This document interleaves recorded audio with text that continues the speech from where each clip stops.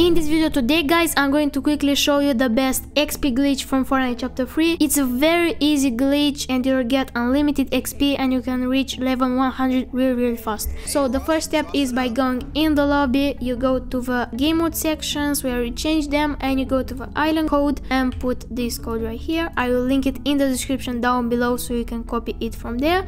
After you have put it you press enter and you press play press play right here and you wait until it enters the match. After we have entered the map we need to fall off the cliff as much as needed until we get the cage round. So we finally got the cage round and we are going to jump from this high place and just drive like me.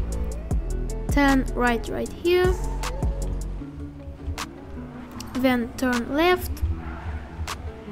And then we are going to turn right again. We are going to jump right there up.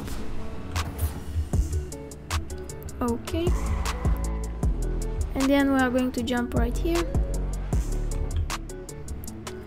After we had jumped we're going to turn. And we are going to go right here and we need to fall on our left side in this gap